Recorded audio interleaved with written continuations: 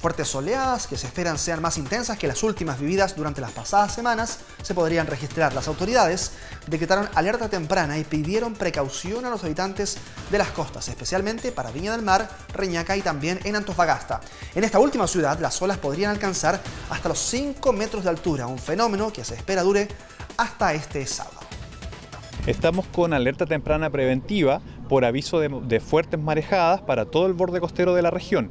Eh, y el llamado es a la población a que no se acerquen al borde costero eh, a hacer actividades recreativas ni tampoco a ir a sacarse fotos como, como lo ocurrido el año pasado. Lo que queremos de sobremanera es asegurarnos de que no vayan personas eh, a caminar ni a sacarse fotografía en el borde costero porque lamentablemente el año pasado tuvimos personas lesionadas justamente a raíz de esa situación, que si no hubiese habido personas en los lugares no habríamos tenido ningún tipo de inconveniente, salvo lo que el trastorno que provoca el corte de la avenida.